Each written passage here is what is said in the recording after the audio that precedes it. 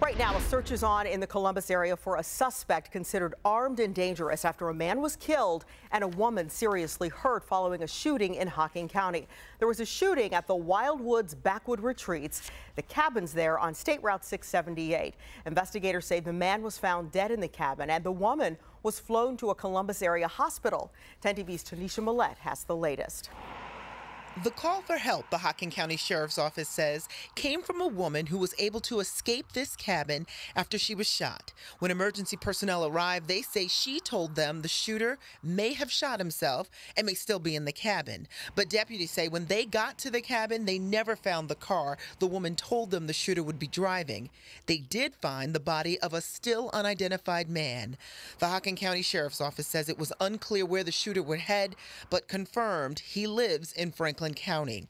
The sheriff's office issued a be on the lookout, or BOLO, for a white 2007 Chrysler Town and Country van with Ohio tags DRA8569.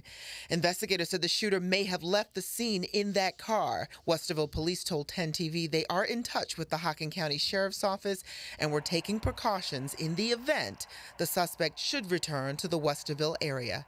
Tanisha Mallett, 10 TV News. And several police departments in the Columbus area are on alert for this suspect, but none would go on the record about where he could be. 10 TV will continue to follow this story and keep you updated as soon as we learn some new information.